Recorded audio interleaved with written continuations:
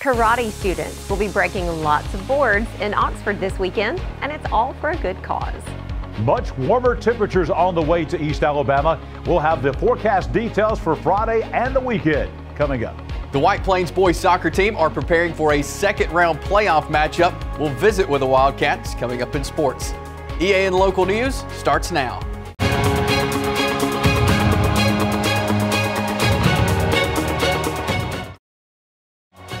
This segment of EAN Local News is brought to you by WM Grocery, located in Heflin, Wedowee, Roanoke, and in Piedmont. Good evening and thank you for watching East Alabama Now local news for Thursday, May 4th, 2023. I'm Katie Edwards. And I'm Mike Stedham. A board breakathon will be held Saturday starting at 11 at Smith's Martial Arts in Oxford to raise funds for a local businessman who's struggling with cancer. Chad Smith, the owner of Smith Martial Arts, says the more boards they break, the more money they will raise. Our students are uh, out raising money. They're trying to get donations and pledges from uh, different family members and uh, members of the community to come in and break boards. And for every board they break, then the, their uh, donation will go uh, toward that. So if they get a dollar a board, it'll be like a $10 donation that that, uh, that person will donate to our great fundraiser that we got. Smith says a full day of activity is planned with food vendors and karate demonstrations. But the main event will be the breaking of boards, lots and lots of boards. Hey, this is just a great community event. Uh, we're out here trying to support one of our local business owners that is uh, having a tough time. Um, our students are geared up and ready to go. They're getting behind this, and uh, you know it takes a village. So our whole community is getting together. We hope you guys as a community will come out and help support also. Michelangelo, yes, the Ninja Turtle Michelangelo, will also be there for all the kids to take his pictures with. And there'll be grilled cheese donuts. Now, what is your opinion of grilled cheese donuts, Kate? Well, I like grilled cheese and I like donuts, so I guess don't knock it till we try it. Yes, and uh, we hope that we like the whole thing. Yeah, absolutely. I think we should probably stick to what we know best. Which is the news. The news, yes. Out of the Shadows is an annual event that addresses the social stigma that often makes it difficult for people with mental health issues to get the help they need. This year's Out of the Shadows program will be next Friday, May 12th at the Oxford Civic Center from 8 a.m. until 4.30 p.m. One of the organizers of the program, Brenda Stedham, says bringing these issues out into the open is an important first step in helping people find treatment. Right. Well, one thing is people don't want the world to know, when I say world, I mean the local area, to know that they have a mental illness. They don't want the the local folks to know that they're in treatment for uh, a mental illness. Uh, and we tend to uh, not not be as open to those who have mental illnesses as we are to those who are not, because sometimes they may have um, uh, behaviors that are uncomfortable or whatever. So we want to train people who come to this program to be open to those people, to encourage them to say whatever they're willing to say, because the more we talk about it, the more we admit to it, the more we get training and education and counseling for it, the better off we'll all be. Out of the Shadows has been putting on these programs for years, and Stedham says previous sessions have already done a lot of good for people who deal with this issue daily. Absolutely. We have people at our programs every year who'll pull me aside or pull one of the other members aside and say, This is so wonderful. I'm dealing with the same issue and, and I got some good ideas. Now I know where to go to get more. Um, uh, family members will say, I'm so glad you're doing this. You're talking about this. You're not shutting it up in a closet so that we feel like we can talk about it more. So, yes, and the people who get continuing education hours love it. They tell us that these are some of the best continuing education hours they get ever, and it's also much cheaper for them. When we come back, there's something rumbling in Piedmont this Saturday. We'll have the details for you after this short break. Since 1993, WM Grocery has been a major part of our local community. WM offers the very best in fresh produce and an outstanding meat department. WM also has many local products not found anywhere else and fresh sushi every day. If you need an event catered, come see Mrs. K at any WM store. Curbside pickup is also available for your online grocery orders. Be sure to download the WM app for all the deals of the week and shopper rewards. Go check them out today at any of their locations. We take pride in our community and appreciate your business. This segment of EAN Local News is brought to you by Waldrop Manufacturing, metal buildings made right here in Calhoun County. If you have a vintage vehicle of any kind, car, truck, motorcycle, or what have you, you're invited to bring it to downtown Piedmont Saturday for an antique car show.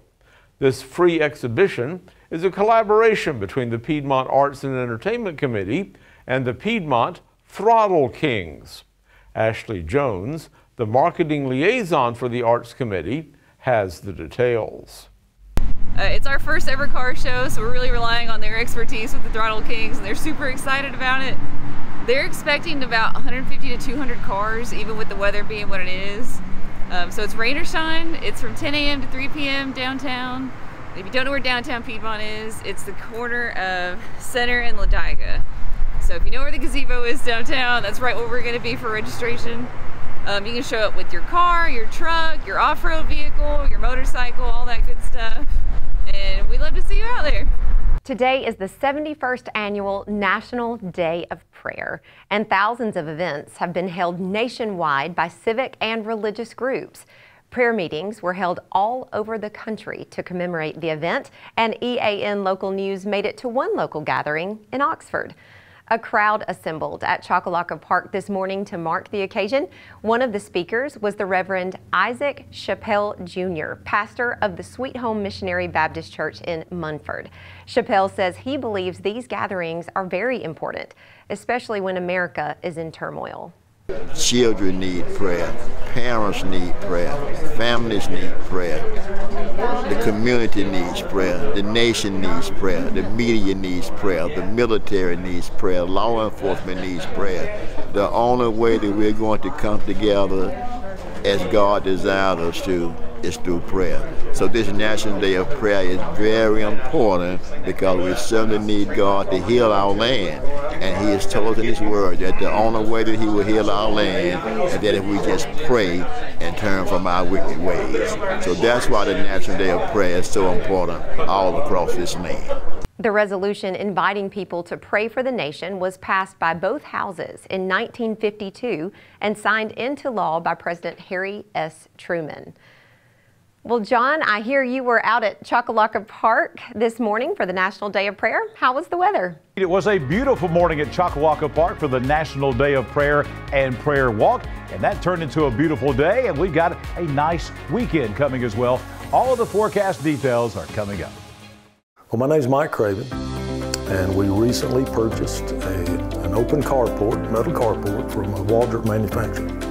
Have an extra car. We have a very small home, very small driveway. And I needed somewhere just to park another vehicle, just out of the weather.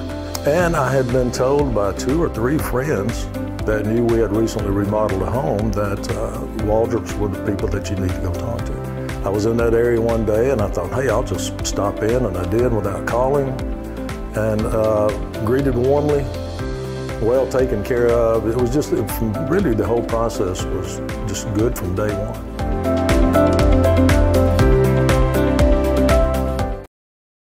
Two pieces of good news in the weather department here in East Alabama today. Warmer temperatures and those winds we had for the last several days finally subsiding and going away. High temperature today at 77, good bit warmer than it has been the last several days, getting more close to our average for this time of year. We had a chilly morning though, 43 degrees this morning, close to the record low temperature, our record high 91. You see that 91 degree temperature there? We may not be far away from that.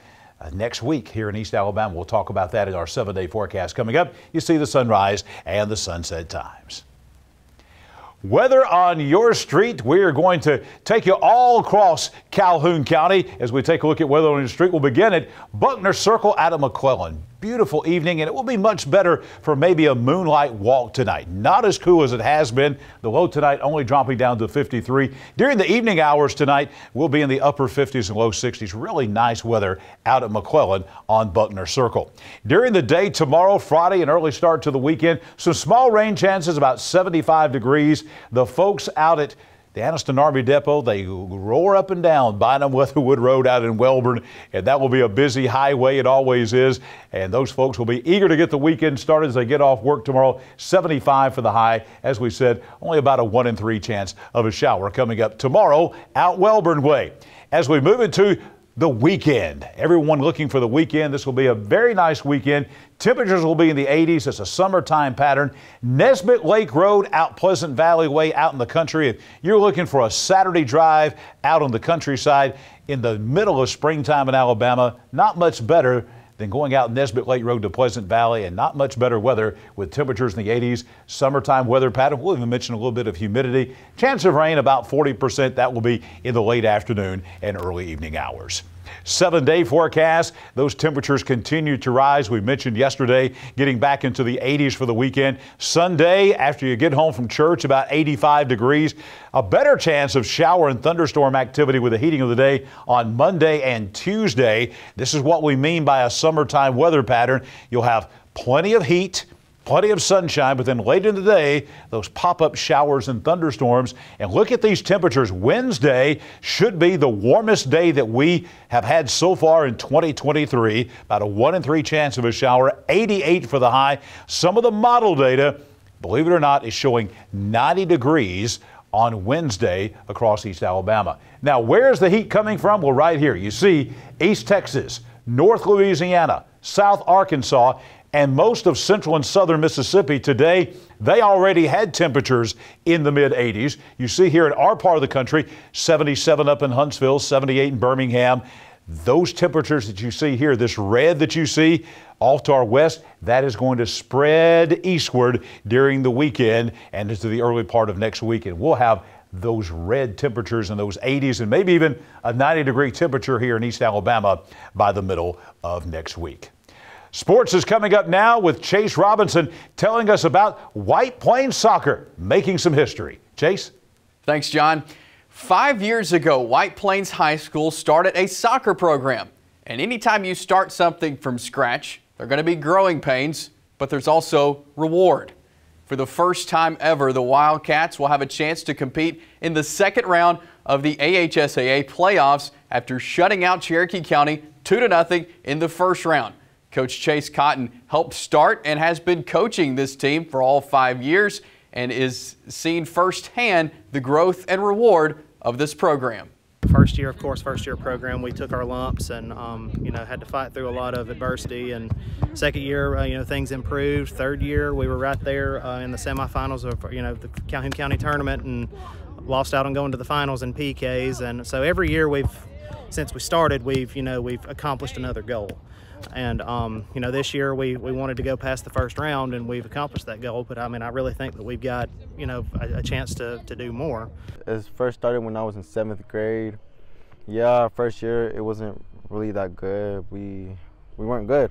And then people started joining soccer. They started liking the sport and we became better and better. And I'm glad this, you know, this program started for our school.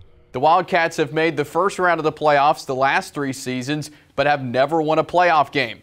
The players have been working for this moment and understand the importance of being in round two.